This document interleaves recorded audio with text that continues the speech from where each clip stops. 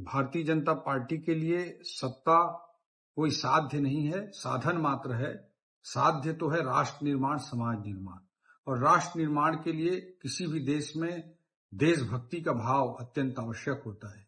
इस बात को समझते हुए हमारी पार्टी ने तय किया है, हर घर तिरंगा अभियान हम चलाएँगे और उसके तहत 11 तारीख से विभिन्न प्रकार के कार्यक्रम लगातार चलेंगे। 14 तारीख को विभाजन विभीषिका दिवस भी हम मनाएँगे। 15 तारीख को स्वतंत्रता दिवस के साथ बहुत अलग स्तर पर बड़े बड़े कार्यक्रम आयोजित किए जाएँगे। इन सब की की प्रक्रिया लगातार आगे बढ़ाई जा रही है। अब इसमें केवल एक पार्टी का कार्यक्रम नहीं है, इसमें हम समाज के सभी वर्गों के साथ मिलकर काम करना चाह रहे हैं। समाज के विभिन्न वर्ग, विभिन्न प्रकार के समुदाय, सबसे हम आह्वान करते हैं, अपील करते हैं कि सब इस अभियान से जुड़े ये कोई पार्टी विशेष का कार्यक्रम हम नहीं बनाना चाहते। सभी लोगों को इसमें हम जोड़ना चाहते हैं और राष्ट्रभक्ति, देशभक्ति का के भाव से ओतप्रोत होकर राष्ट्र निर्माण के लिए सब लोग अपना सौ प्रतिशत दें। जो जहाँ पर समाज में, अर्थव्यवस्था में अपनी अपनी भूमिका निभा रहे हैं, शिक्षक हों, कर्मचारी हों,